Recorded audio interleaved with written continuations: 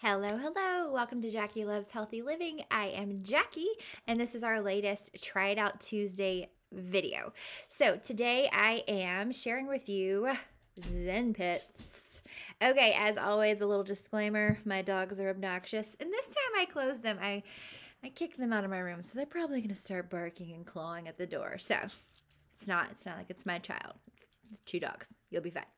Okay, so the review of Zen Pits. Now, I have a deodorant graveyard. Raise your hand if you too have a deodorant graveyard.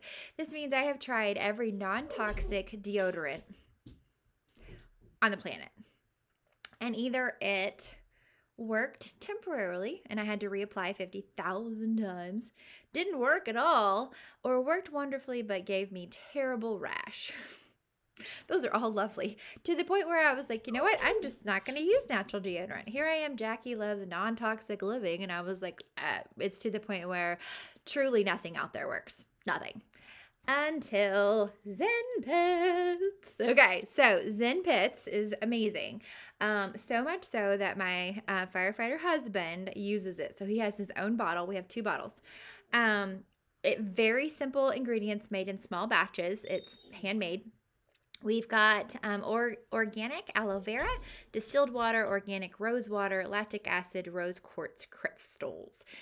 There are 300 sprays per bottle, and you will use one to three sprays per armpit. So give it a little shake. Psh, psh, that is it. Carl and I both only need one spray per pit. So this bad boy lasts us about four months. Now, it is pricey. It is about 50 bucks. But if you know that it's going to last you 4 to 5 months, then it's totally like it's it's the same price as what you would have spent for anything else. It works hands down better than anything else I have ever, ever tried. It keeps me fresh, it keeps me not smelling whatsoever, and it lasts truly for 24 hours. So you can say goodbye to your graveyard of deodorants that don't work, that are natural, or that kick out too soon or cause rash because this won't do any of those things. Um, I it does say in the directions that if you have freshly shaved, it could burn. So what you are supposed to do if you freshly shave, you are supposed to spray it, and if it does start to burn, you leave it for 15 seconds, wipe off because you've already killed all the bacteria, so you're not going to smell it all for 24 hours. Um, and then once you wipe it off, it won't burn anymore.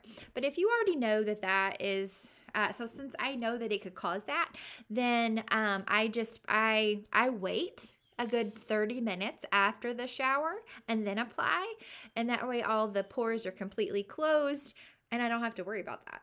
So I go ahead and get ready. I do all the things, and then right before I leave, I put it on if I've shaved my armpits, and then there's no burning whatsoever.